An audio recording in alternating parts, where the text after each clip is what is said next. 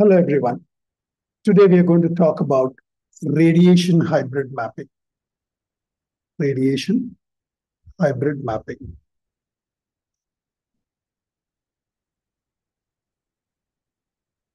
This is a slight modification of somatic cell hybridization, which we have discussed in our previous lecture. Here, in radiation hybrid mapping, what we do is we take the human cell line and radiate it with X-rays. And the range of the rads we use is around 3000 to 8000 rads.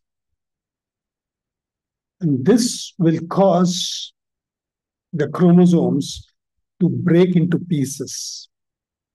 And this broken pieces are now used to fuse along with your mouse cell line. And this cell line now can be HPRT negative, and this cell line can be now TK negative. This contains the only variation between somatic cell hybridization and the radiation hybrid mapping is this cell line now contains broken pieces of chromosomes of the human cell line. And here you have all the chromosomes intact for the mouse cell line. And the rest of the technique of fusion and then selection in the hat media is one and the same. And again, how are these pieces identified? These pieces are identified to belong to a particular chromosome, again based on the banding pattern. Right at the end of the day. Yes, when now fusion takes place, one thing has to be understood is your fragments or the broken pieces will now get integrated into the mice chromosomes or the rodent chromosomes integrated into the rodent chromosomes. That has to be clearly understood. So we look at the diagram here. What have we done? We have taken chromosomes. We can use high dose and low dose. And now we have fragmented chromosomes. When you have used a high dose, there'll be more number of fragments. When you have a low dose, you'll have a lesser number of fragments.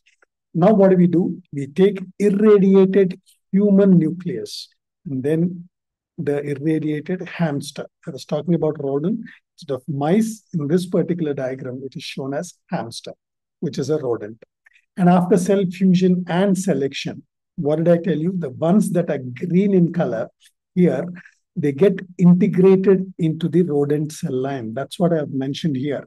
They get integrated into the cell line. And this integrated cell lines are now taken down and then used for STS mapping. STS mapping. Now,